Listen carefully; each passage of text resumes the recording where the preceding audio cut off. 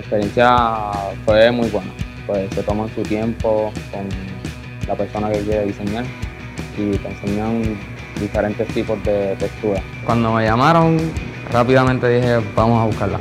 Sentí como que, wow, lo diseñé yo, fue creado por mí. Como que se me dio la oportunidad de poder diseñar mi etiqueta y poderla lucir. Todo el mundo fue de color vino. Fuimos tres personas los más que resaltamos en el prom.